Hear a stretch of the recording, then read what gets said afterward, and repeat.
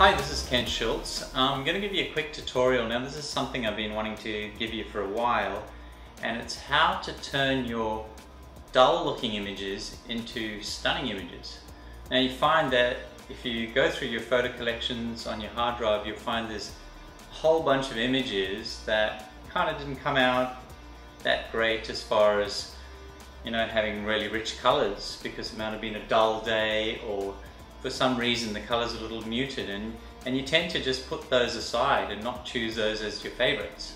So you get this whole collection of photographs that could be good, but just because at the time the just colors just didn't hit you, you end up either discarding them or just you know neglecting them on your hard drive.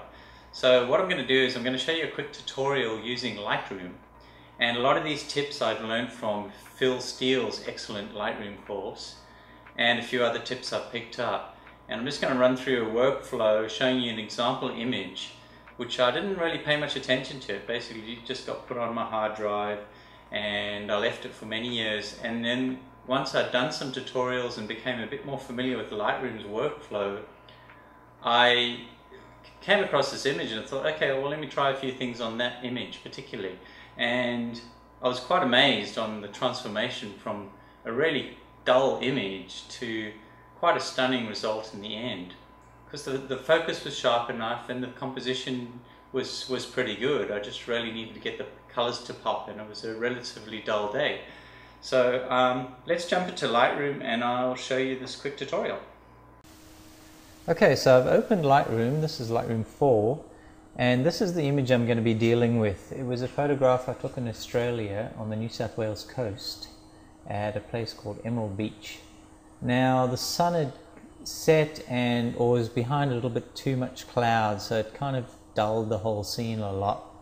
And so the picture basically lacks contrast and color. So this photograph ended up sitting on my hard drive for quite a while till I did did uh, Phil Steele's amazing Lightroom course and I decided to dig up some of my old photos and try some of the things I learned so let's open this up in the develop module. So this was in the library module. Now if you go to the develop module, that's where you change the settings of your photograph. And typically you have these presets open as well. But Lightroom gives you the option to shut down windows so that you have a little bit more room, or, or shut down panels at least. So because I'm working on a laptop here, I can actually shut down the presets panel and click on this arrow and shut down the top menu. So you can still access it by moving your mouse over it. So it's really handy for maximizing your workspace on the image. So one of the first things I do with photographs is to just correct the cropping and any rotations that I need. Like in this image you can see that the horizon's a little tilted. So first of all I go into the crop tool and so you can actually set the aspect ratio to this if you don't want it to change. You can tick original or you could tick different aspect ratios. For instance, if you want a photograph printed out at 5 by 7, you can choose 5 by 7. So in this case, I just want to keep it to the original proportions. And on this side, you can see I can just choose these corners or the sides and just pull my image in. And that's one way I can re reframe the image or crop the image. But in this case, I just want to do the rotation initially. So I choose this one here, which is the straighten tool. And I could just do the angle manually by moving this slider, but in this case, I'd rather just use the straighten tool. And what you do is you click somewhere on the horizon, and then you drag across the horizon line. And then when you let go, it straightens it to that particular line. So that's looking better. Then I just hit enter. So we've got a straighter horizon line now and actually that's probably a little bit too much. Let me, let me pull that back a little bit. Okay, because there is a little bit of a curvature to this shot anyway, so I don't want to go overboard with that. Okay, that looks much more natural now. And as far as framing go, you'll notice that there's different overlays and you press if you press the O key you'll find that Lightroom toggles through all these different overlays. Grid, this is the classic thirds overlay which divides your picture into third cubes basically. And I like to use the golden mean which is the next option and that's a little in from the thirds. So what this is is is this has the ratio of 1 is to 1.618 from each side and from the top and the bottom. So it gives you these lines a little in towards the middle compared to the thirds lines so um, it's really good to use these as, as a guideline for good composition. For instance, here I want to put this island on this intersection here. So what I can do is I can just drag it up a little and get that intersection of the golden mean lines on that little island. And my horizon's pretty much exactly on that golden mean line too. Okay, so I'm happy with that composition. I'm just going to hit enter. Now this is non-destructive. If I find I want to change that crop, I can always go back into the crop tool and you'll see the original image is there. So that's a good thing about Lightroom. It actually keeps the original information and you make edits and it, and it basically does all these edits on your photograph but keeps the original photograph in the background so that you can always go back a few steps and go back to your original. Okay, so the next thing I want to do is pull up the color and the, the tonal value. Now at the top here you can see the histogram, there's a fair gap in the blacks here. So my actual pixels of uh, my image start sort of in from the edge, which means they're not, they more gray, the pixels. It hasn't actually maximized the black here. And the same on the light side, I basically have no white pixels in here. So what I, that means is my image is more centered around grayscale, which is partly why the contrast is not very strong. Which this is basically showing that most of my histogram is towards the middle, meaning more gray values. So one of the things I can do is I can pull up the blacks and the whites and the highlights and the shadows for that matter. So let's first of all take up the whites. So when I drag this, you'll notice this histogram at the top shifts all the white all those pixels towards the white end. And a really cool trick I came across, I'm not sure if it was in Phil's course, it might have been through some other tutorial I watched. But if you hold down the Alt or Option key and you drag the slider, what happens is you get a view where it stays completely black and then you start seeing any pixels that are getting overexposed. So they go beyond white, so it shows up. So that way you can just drag it back just so that you're just on that edge there but not overexposing too many pixels. And then likewise with the blacks, you can hold that Alt or Option key down and then drag that histogram down. So you're dragging the pixels into the more black region. And there too you'll see the actual black underexposed pixels appearing on a white background. So it's really handy to, to quickly fine tune that range. So in this case I only want to few true black pixels. So, so there we go. We've pulled up the contrast of this image already by just spreading that those tonal values to the white and black extremes. So I can also uh, push the shadows down a little to strengthen that contrast and the highlights I can push up a, a fair bit as well. So that's basically pushing not the darkest pixels and lightest, but just in from that, pushing those to more of an extreme. Okay, so that's looking a lot better.